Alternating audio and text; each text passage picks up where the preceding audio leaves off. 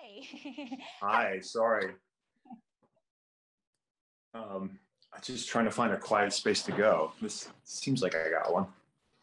Oh, thank you so much. Where are you at? Are you on tour right now?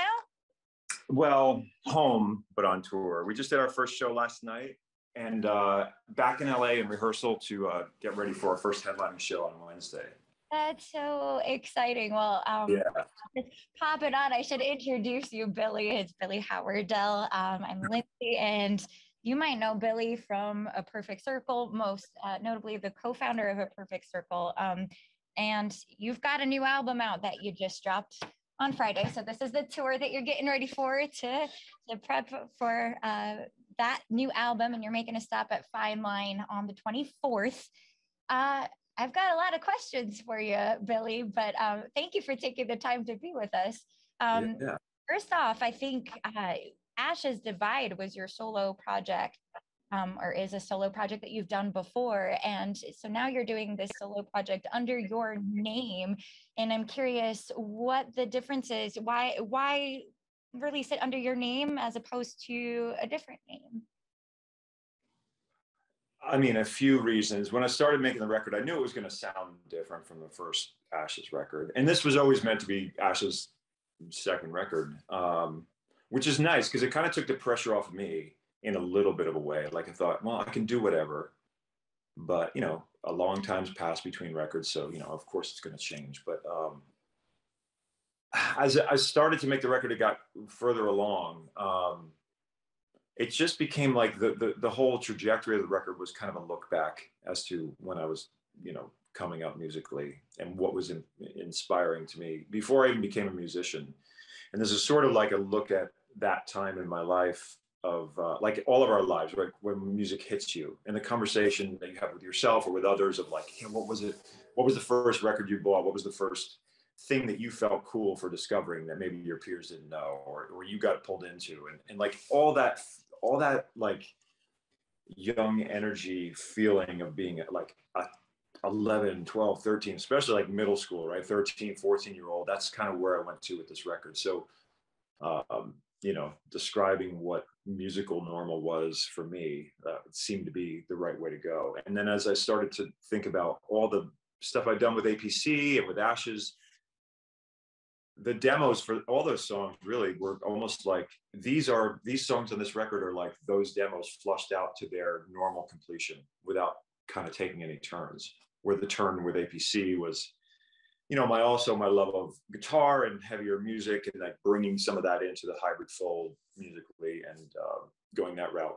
And Ashes sort of a continuation of that but like taking the next step after APC and where I wanted to have something a little more up tempo and like a little even more energy. Now this is like, okay, I'm going to go back to kind of the, the, the plan A of uh, the way the demos were started and, and, take them to their completion, a place where I didn't know how to do when I was younger. I didn't know how to do it even 10, 15 years ago. And now I can, and technology allows, and, you know, my experience has allowed. So kind of, this is the record that came from that so cool. And you're a multi instrumentalist, so ish. Ish. uh, yeah.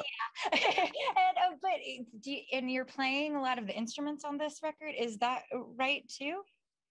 Yeah, but the same as APC, the same as Ashes. You know, it's coming for the most part, except for one la- the last uh, APC record. Josh Freese has played drums for the most part, and then I played you know bass guitar and keys. And um, for the most part. And um, yeah, it's a familiar setup, but you know, I think between Josh and I, we get a lot done and and uh, have this kind of synergy that that works. And I just I just know whatever I kind of program as beginning drums, he will take an angular programmed beat and really bring the humanness to it and the flow and everything like that. So uh, that's always been nice. And uh, yeah. That's really cool and well and, and and for those who don't know um i think i don't know is it it's kind of like the dream of a lot of people i'm sure. You got started with guitar teching and yeah. then you were doing it for you know nine inch nails tool the list goes on david bowie. Mm. and yeah.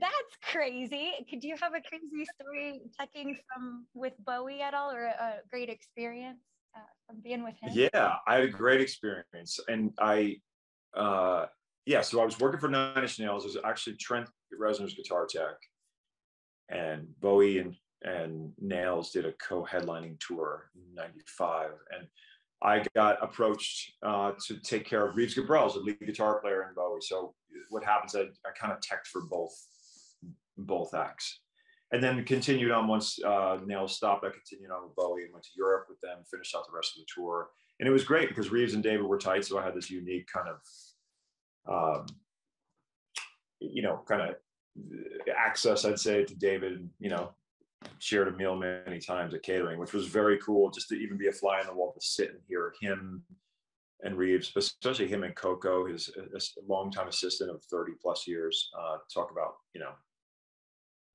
the old times. that was very cool. But the, the biggest thing is just he is the coolest thing about Bowie. He is what I think, what I thought of him from afar. He is that up close. He's smart, or was uh, unfortunately smart, and you know, just always searching for the next thing. He had a young energy to him that always evolved and was always curious of how things could move and evolve and move forward. Um, yeah, a funny story. I think the my favorite working in that is I'm sitting at my laptop. Now remember, this is early. This is I'm like I'm texting or emailing my girlfriend at the time, like, you know, what's happening. And I just someone the caterer, of course, the caterers always have the coolest new music.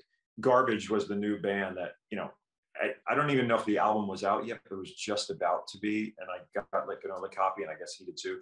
And uh, I'm sitting writing a very intimate email, and David's over my shoulder, and I didn't know it. And I'm writing something to her, and then I said something about garbage, and he goes, "I love that fucking band as well." And I was like, "Thanks." I was like, "What the hell are you reading my email for?" Like, yeah, it was it was the surreal moment to be like half flattered, half pissed that David Bowie's leaning over my shoulder, creeping my email. Hey, oh my, god, that's really cool. Wait, and you said the caterers would have new music? Yeah, the you know when you tour like touring caterers that come along with you, like eat uh, eat the beat, and um, I forget which caterer it was, but they always had like they're always in the kitchen blasting cool stuff, and you'd be like, what is that? What you know?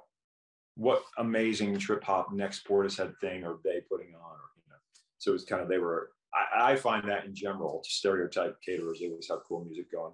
I did not know this about caterers. Like that, that's gonna blow my. I have a lot of uh, people in circles who tour and stuff, and nobody's ever let me know that the caterers are the ones who know where what the uh, stuff is. Well, well, now it's like eh, you know, internet age has made everything.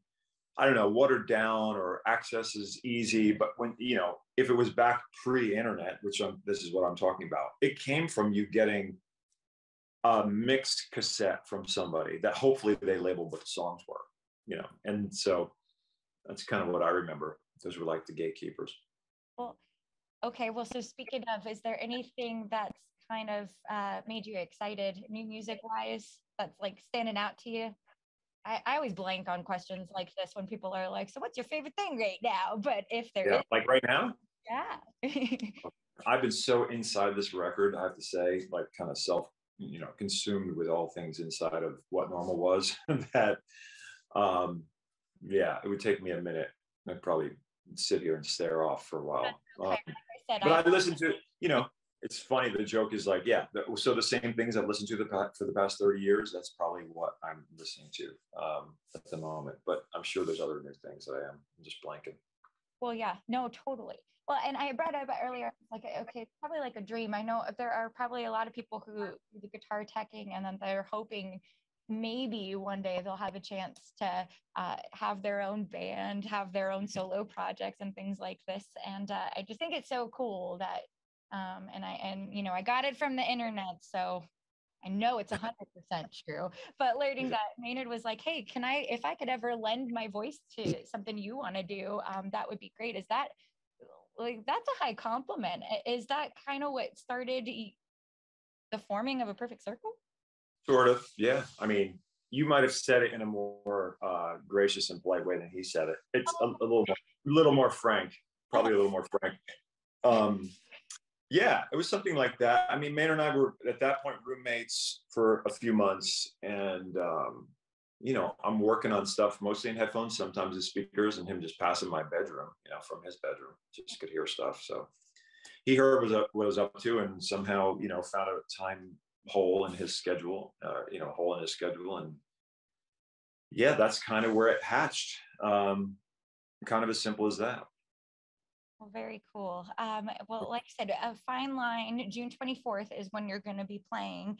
And then is it, you're going to be opening up for Puscifer as well later on? Did I read that? Uh, only one more show in, in uh, Michigan. Um, that's our only other, we opened last night. Our first show tour was last night. Very first show opening for Puscifer at the Greek Theater in LA, which is, you know, a huge venue. And man, pressure was on. We were, we, uh, I've had hurdle after hurdle uh, getting this tour or getting the, even this rehearsals off the ground. We only played, I can say it now, we only played through the set one time at 11 15 p.m. the night before the show. And that's the only time we got through all seven of the songs for that set. What? And to rewind to rewind to that, which is crazy, to, like, like we got up there and we just didn't know that playback was going to keep working or you know we had gear that was not even labeled yet. So getting it set up, there's so many, there's many uh, dark forces at work here, keeping it's like, I'm not one of those Mercury and retrograde people, but like, you know, I, I have to say like, we've been getting, I've been getting many messages from the universe not to do this tour, but uh, we've been pushing on. And to the point of like our bass player is still in Canada, couldn't get in country, which held us up quite a bit had to postpone the first show, about to postpone the second show, which is supposed to be tomorrow, which we just found out because we're we're literally not ready for a headlining set at this point, and we're gonna not postpone any more moving forward. so Wednesday in San Francisco is gonna be our first show, our first headlining show. It's just two days away. We've got seven songs to learn in the next uh, as soon as I hang up with you till tomorrow. Serious? Oh my Yeah. gosh. Well, I have Yeah. The faith in the world that you can make it happen. And I have all the more appreciation for you taking time to talk to me when you got some stuff to do. Uh, Yeah, but that's crazy. I, you know, it seems like a lot of people right now, just these last couple weeks, have been saying like, "What's going on? Are their planets like all out of whack and stuff?" So I Yeah, hope things line up better and that things go so smoothly for you. yeah. Thanks. Yeah, this is the time I'll take any of that stuff. I'll take any of those, um, any of those. Uh, I don't know any any uh, spells, well wishes. Uh, you know, you know, yeah, you, uh, what, what what is it? Sage? I don't know. What are what are some of the good luck things we could tap into? you want to sage the energy, cleanse it Yeah. out, and then maybe get some rocks. I don't know which ones, but you talk Yeah. to somebody about getting some good crystals, some good mojo. You're Comment comment in, and I'll I'll, I'll- I'll partake whatever it takes. Okay. well, uh, thank you so much. I, I hope that you have a great time on tour. And uh, what normal was again is the record. Uh, get it if you haven't gotten it already. It just came out on Friday. And uh, yeah, we'll see you on the 24th at Fine Line. And I hope that everything smooths out and goes just awesomely. this. Thanks. Thanks. I think it's gonna be great. it's good. right. Well, thank you so much, Billy. Have a All right. wonderful Thanks. time and uh, thanks. Thanks, Billy. Right, Bye. Bye. Bye.